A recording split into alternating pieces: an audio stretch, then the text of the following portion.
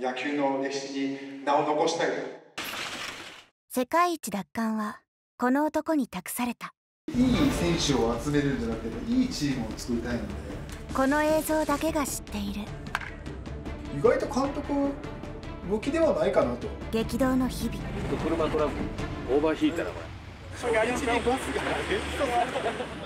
世界一への挑戦が今から始まります世界一を取ってきてください。貴重なインサイドカメラが侍たちの真の姿を映し出す。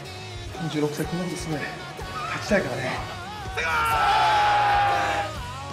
全ての野球ファンに送る。真実の物語。侍の名のもとに。2月7日から。